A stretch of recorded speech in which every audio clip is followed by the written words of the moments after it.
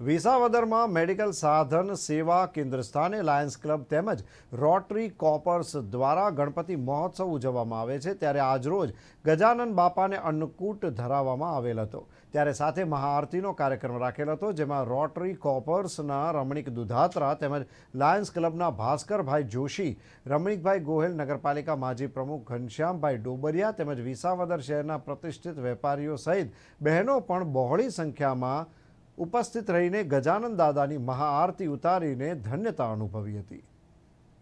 અને રિદ્ધિ સિદ્ધિના દાતા અને લોકોના સર્વના વિઘ્ન હતા એવા ગજાનંદ ગણપતિ દાદાનું આજે બીજા વર્ષે મેડિકલ સાધન સેવા કેન્દ્ર ખાતે આદરણીય માનનીય વડીલો, બંને સંસ્થાના વડીલો એવા આદરણીય માનની લાયન્સ ક્લબના સિનિયર માર્ગદર્શક ભાસ્કરભાઈ જોશી સાહેબ એવી રીતે રોટરી કોમ્યુનિટી કોપના ફાઉન્ડર પ્રેસિડેન્ટ માનની રમણીકભાઈ દુધાતરા સાહેબ એવી જ રીતે અમારા લાયન્સના પૂર્વ પ્રેસિડેન્ટ માનની ચંદ્રકાંતભાઈ ખુવા અને મેડિકલ સાધનના કેન્દ્રના સંચાલક.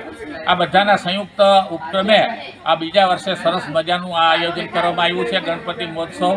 અને આજે સરસ મજાના અન્નકોટનું આયોજન કરવામાં આવેલું. ગઈ- ગઈ, ગઈકાલે સરસ મજાનું દીપમાળાનું આયોજન કરવામાં આવેલું. તો આવો સરસ મજાનું એક ધર્મ સંસ્કૃતિને હંમેશા ઉજાગર કરવાનું કાર્ય થઈ રહ્યું છે.